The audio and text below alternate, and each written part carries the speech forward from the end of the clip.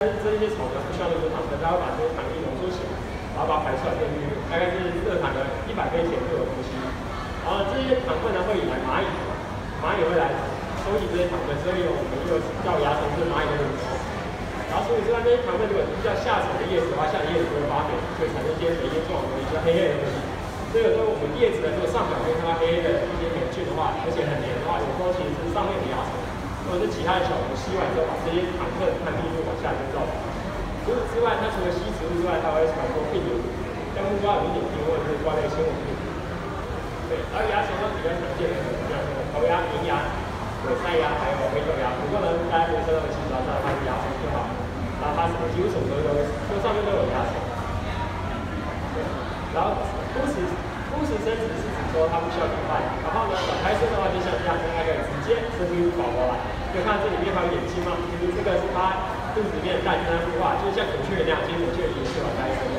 不过它比孔雀更厉害的地方是呢，它生宝宝的时候，生宝宝的肚子里面已经有小宝宝，这个叫做多多代多代子体，就是它可以大致的身体里面有小宝宝，小宝宝身体里面已经有在发育宝宝，所以它繁殖速度比一般生物更快。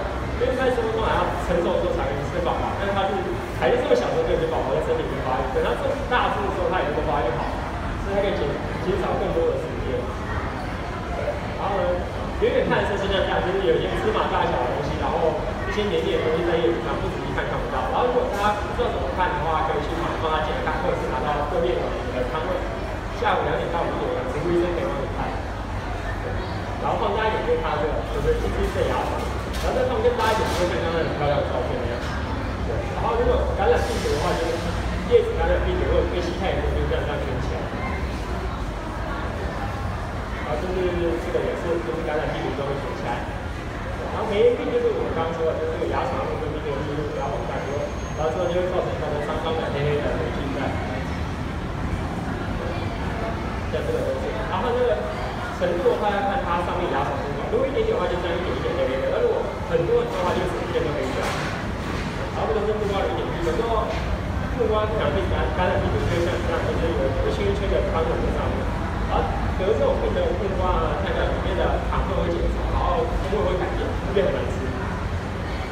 然后所以呢，这个木瓜里面大家会用这种细的沙网，非非非常细的沙网。嗯，弟弟弟弟。